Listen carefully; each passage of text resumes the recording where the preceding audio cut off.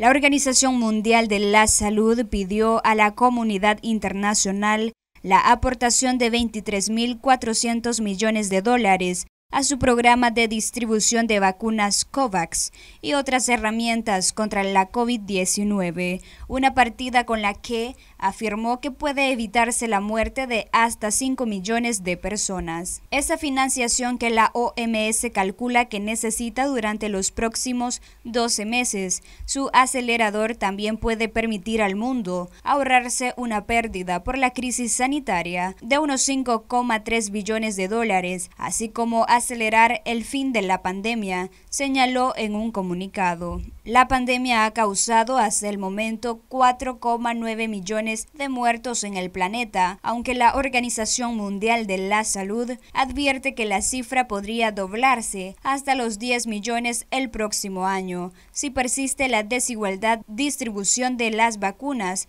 y otras armas contra el COVID-19. Con el dinero solicitado, el acelerador persigue el objetivo de aumentar la distribución de vacunas en su programa COVAX, pero también facilitar la disponibilidad de test en diagnóstico, tratamientos y equipos de protección, especialmente en los países de desarrollo. La OMS recuerda que por ahora solo un 0,5% de las vacunas y un 0,4% de los tests se han distribuido en países de ingresos bajos, cuya población presenta un 9% de total mundial. Los 23.400 millones requeridos son, según la OMS, poco en comparación con los billones de dólares de pérdidas que se estima que ha tenido el mundo a causa de la pandemia. Con los fondos presupuestados, el acelerador espera apoyar los programas de vacunación en 91 países en desarrollo, con el fin de lograr la meta global de vacunar el 70% de la población mundial antes de mediados del próximo año. Desde su creación el pasado año, el acelerador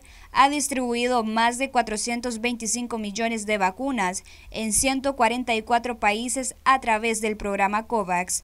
Para Noticias 12, Luisa Centeno.